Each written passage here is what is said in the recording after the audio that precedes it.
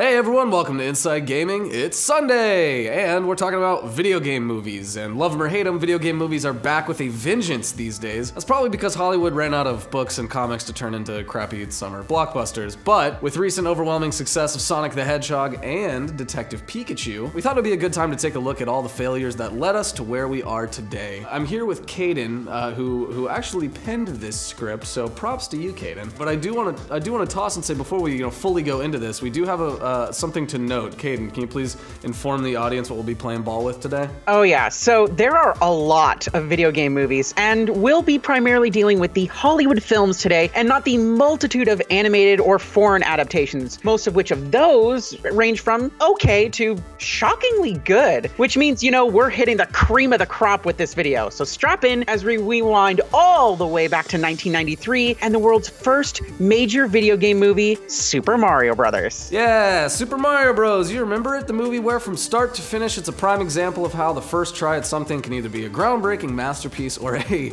storm disaster piece, and boy howdy, uh, was it way more of the latter than the former. So the original pitch at getting the plumbers on the silver screen was more akin to something like Rain Man, and even had a working title of Drain Man on early production scripts. Caden, what was the kind of sell of this movie? Yeah, it was definitely a weird one, but I actually would have liked to see this. It was an exploration of the emotional connections between Mario and Luigi, this relationship that they had with each other, and it showed their bond growing through this fantastical, you know, quote, road trip type setting. Uh, well, that didn't happen, and it's pretty obvious that the small studio Lightmotive not only bit off way more than they could chew, but they also had no idea how to manage an ever ballooning budget and the constant delays. Mm, yeah, the story's been told a hundred times, but the highlights are too good not to mention. Mario and Luigi actors Bob Hoskins, RIP, and John Leguizamo hated filming the movie so much that they'd often just show up drunk and get smashed while on set. How appropriate. Bob Hoskins also broke his finger during the filming and had to have his cast painted pink to blend in. And not to mention the infighting between the cast, producers, and the now infamous directors Rocky Morton and Annabel Jankel is beyond legendary and led to near constant script rewrites, causing the cast to ignore any script they were handed until just before shooting a scene. Yeah, not to mention all of that, there's also 30 minutes of nearly completed scenes that they just needed to cut to get the movie's runtime under control. This thing was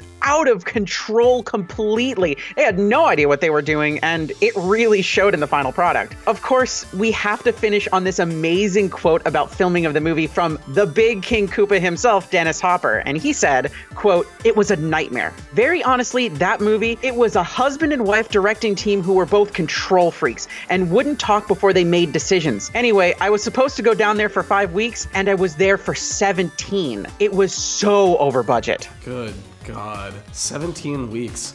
Can you imagine doing anything for 17 weeks? Ugh. I can't imagine breathing for 17 weeks. Oh my god, get me off this fucking planet. So of course after the Super Mario Bros. movie failed to even make half of its budget back, Nintendo dropped any idea of doing any other theatrical movie for a good long time. But that didn't stop literally everyone else from jumping on the burning bandwagon that soon became the video game movie boom of the 90s! Yeah, year after Mario drunkenly stumbled onto Hollywood only to be kicked to the curb and end up begging for mushrooms, we got back-to-back kung fu action with Double Dragon and Street Fighter. So let's start with Double Dragon. Let's talk about that for a quick second because despite it not making back its budget, uh, being a critical failure, and living on as either a distant memory or hitting the top 10 worst video game movies ever lists across the internet, Double Dragon was actually pretty faithful to its source material, especially for being released in 94 and for being seen as a uh, easy cash grab project. I mean, Caden, what do you think? The project had Alyssa Milano star as the movie's version of Marion and Mark Dacascos, who played Jimmy Lee. And if you don't know who he is, he's the dude who hosts Iron Chef America, and he's awesome.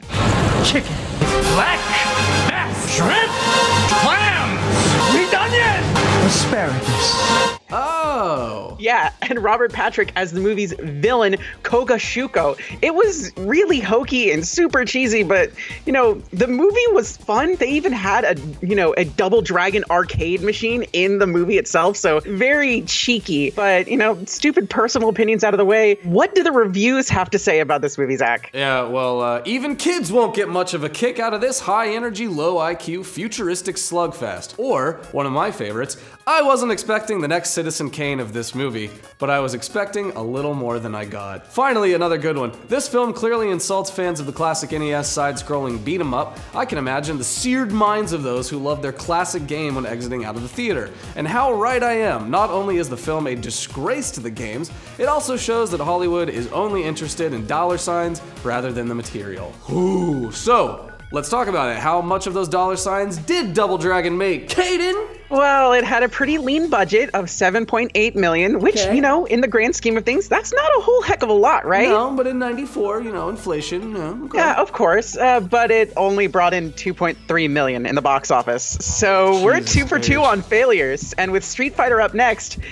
we're in for another one, right? Uh, well, yes and no. So let's get to the box office numbers first, get them out of the way because they're actually pretty shocking. The movie cost around $35 million to make, and the box office returns totaled a whopping 99.4 million. So this, you know, giant turd of a film actually made money. But uh, money isn't everything. Notable quotes from critics include Jim's like, Caden, Even Jean Claude Van Damme fans couldn't rationalize this bomb. That's a little harsh, but shout out to all the Van Dammies out there that are going to take personal offense to that quote. But seriously, who thought casting a Belgish actor as one of the most American video game characters in existence was a good idea? is it is Belgish what you call people from Belgium? Bel- I had to look it up. It is Belgish? Belgish. Hmm, you learn something new every day. I always called them Belgiumites. Yeah, but the biggest pill to swallow, this one hit me right between the eyes. Uh, notable only for being the last film made by Raul Julia, an actor far too skilled for the demands of evil warlord General M. Bison, but far too professional to give anything less than his best.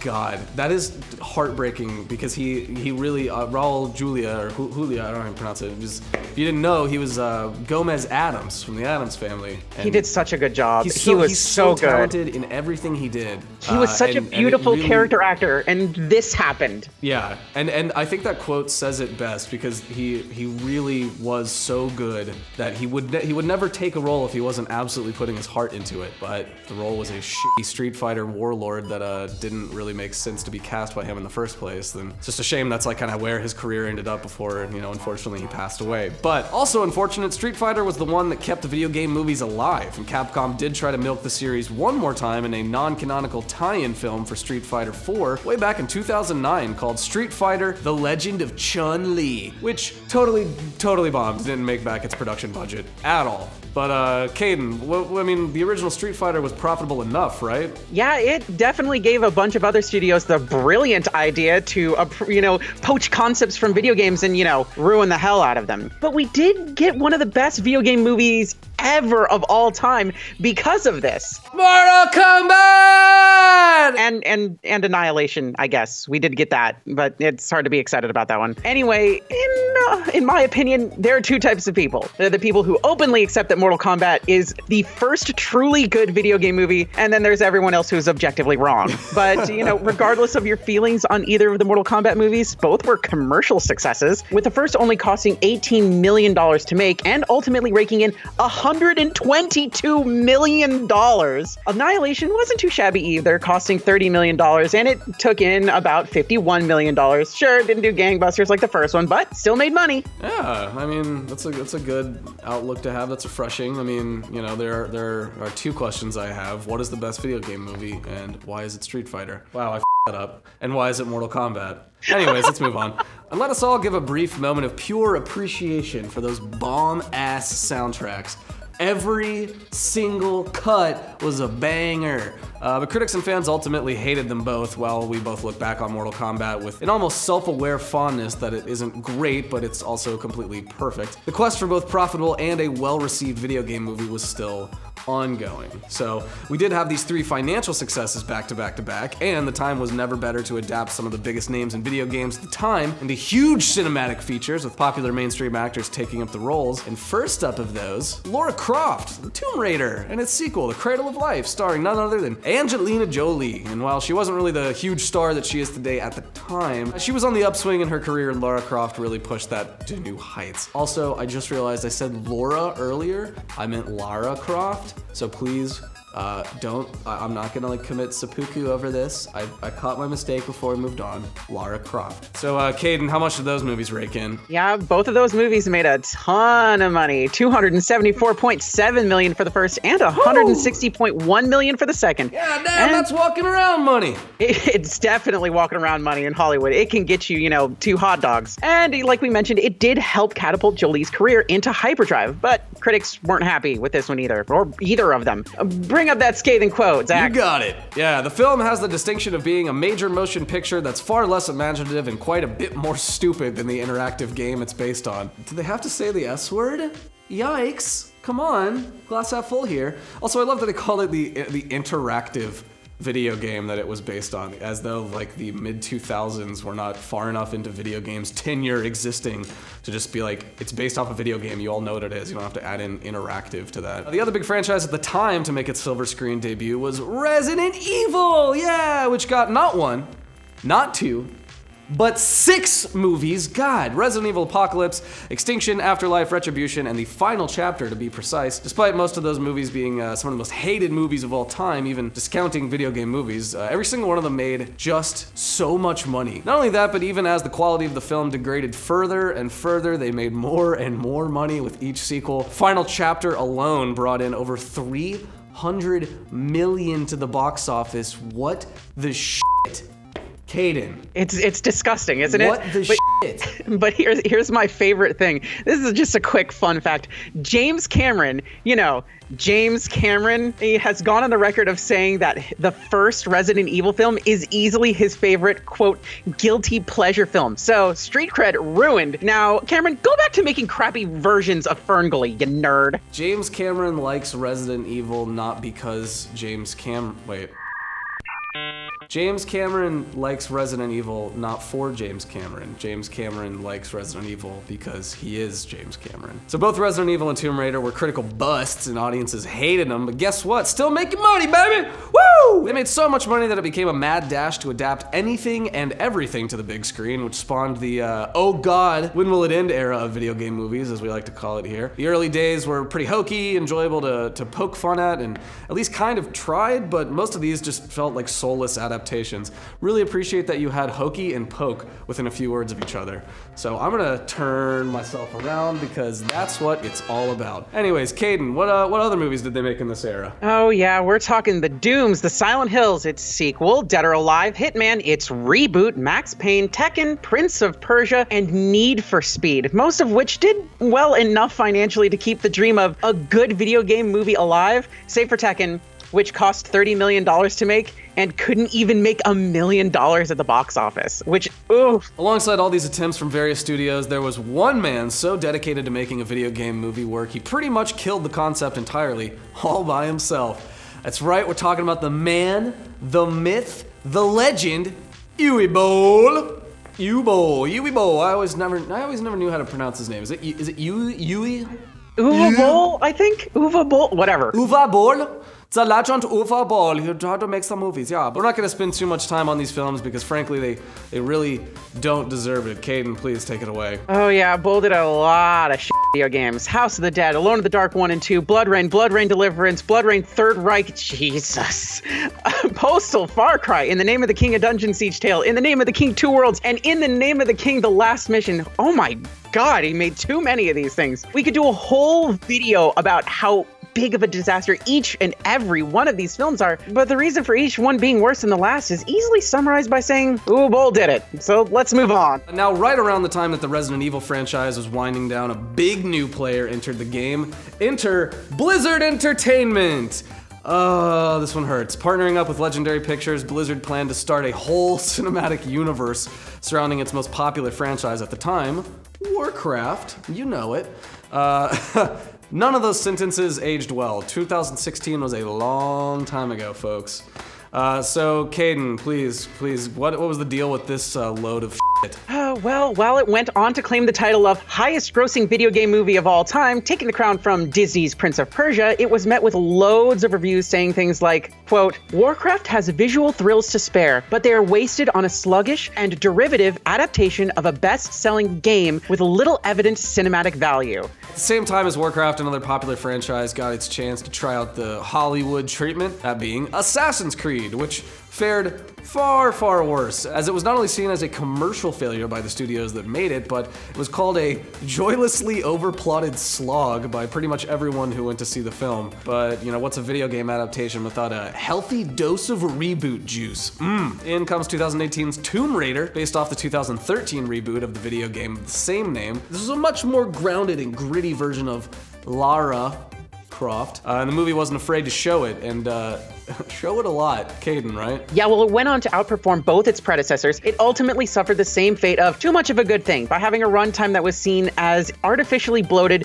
to hit a two hour runtime. Yet another swing and a miss. And in that same vein, not happy with his brief stint as some dude in Doom, Dwayne The Rock Johnson returned to the video game movie world with 2018's Rampage, which, while making some serious coin, over 400 million at the box office, holy shit, it sits nicely with the rest of the films we've talked about critically, meaning not so good. Ah, I forgot about Rampage and the fact that critics said Rampage isn't as fun as the source material, but the movie's sheer button mashing abandon might satisfy audiences in the mood for a brainless blockbuster. Want some ice? Cause I burned. At this point, we've sat through 25 years of trying to make this whole video game movie thing happen and nothing quite stuck. Well enough to spark a renaissance for either media, but 25 years was just long enough for Nintendo to finally get over that one bad relationship they had and take another big swing on the silver screen. And that brings us to 2019's Detective Pikachu. And Caden, if you don't mind me saying so, I think they did it. I think they, They did it. What do you think? absolutely did it. Barely scraping by with a 69% nice from critics on Rotten Tomatoes with a user score of 79% and hitting $433 million worldwide at the box office. Detective Pikachu was the first actual success at adapting a video game to film and having not everybody absolutely loathe it. Props to, to Nintendo for, for, for finally getting one through the door that was not a complete dumpster fire. Because that brought us to finally this most recent attempt, Sonic the Hedgehog, which was also a pretty recent great success. It's currently at 64 on Rotten Tomatoes, but the user score is a whopping 94% and has already made its budget back and it's staying strong. So Sega finally beat Nintendo. Uh, of course, it wouldn't be Sonic the Hedgehog without a little bit of trouble, wouldn't it, Caden? Yeah, the wind up to the movie design debut of Sonic was met with loads of skepticism, and ultimately fans were right to be worried. Sonic looked like a horrible monster, and this film version was even heavily criticized by both current and former Sega employees. So the studio scrapped the creepy toothed creature and brought in Tyson Hesse to help with the redesign, uh, you know, and right the wrongdoings they committed, resulting in the really adorable design we eventually got. Yeah, yeah. I mean, we'd be remiss to not mention something pretty important in almost every industry these days that affected the Sonic movie team quite a bit in that last mad dash to the finish line. And you know, we're talking about Crunch. Yeah, right after the moving picture company, the folks that worked on the animation featured in Sonic, closed down, we saw massive threads on Reddit begin to pop up discussing the crunch that went into it and another film at the time just to meet deadlines. One former staff member said, We've all put in extreme hours wrapping two infamous projects in the last couple of months. We've done multiple weeks without a day off, regular 17 plus hour shifts to the point that most of us are seriously sleep deprived and suffering still. We've worked really hard to get this work out the door for MPC, and I'm genuinely ashamed that they are happier prioritizing their profit margins and tax incentives over the insane talent and commitment of hundreds of dedicated VFX artists in Vancouver. I honestly feel insulted, like I've given the MPC my all, and in return, they gave me the finger. God, put that on the, the headlines, put it on his gravestone. Well said, dude.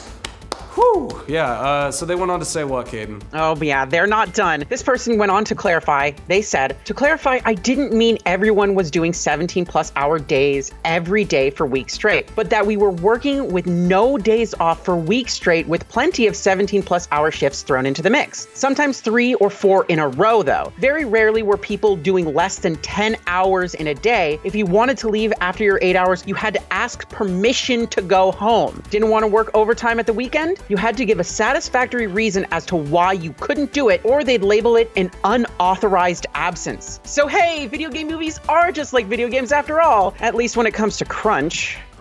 Yeah, I mean, we'd like to take a moment and really thank the hardworking folks at MPC who made this film possible. Whether you end up liking it or hating it, you can clearly see the passion and talent that it took to make Sonic go from a horrible nightmare into the cuddly creature we ended up with. So thanks to all of you, seriously, if you're watching this, we genuinely hope you all found much, much better working conditions. And and for what it's worth, fuck loved it. Sonic's great. He looks he looks great. Fun movie. I'll say it again. I'll say it from the I'll scream it from the, the rooftops. I'm not afraid to die on this hill. Uh, anyways, what we do have to look forward to in the future is Monster Hunter, just around the corner, and it's done by the same people who handled Resident Evil. Yay. Yay. But it's not just Monster Hunter. We have a newer Tomb Raider movie that's coming out, which is a sequel to the, you know, the last one, and it's coming next year, which if the first had anything to go by, it's gonna be met with a resounding eh. We also have a new Mortal Kombat movie uh, that the director has stated will receive an R rating and will feature the game's staple fatalities for the first time in the big screen, so that's something to look forward to. And then there's the Uncharted film, which is going to start filming in the next few weeks, but it no longer has a director attached to it, so what the hell's going on there? I'll believe that when I see it. We have a Minecraft movie, of which we know very, very little about and has been in the works for a very long time. We also have several untitled and undated films such as Mega Man, Metal Gear Solid, and Call of Duty. So there's a lot going on. God, can you imagine a Call of Duty movie? Yeah, it's called literally every war movie ever. So it seems like video game movies aren't going anywhere uh, anytime soon. Good, bad, or otherwise, take it as you will. But uh, hey, you know that's that's the history of this crazy, crazy industry that we work in.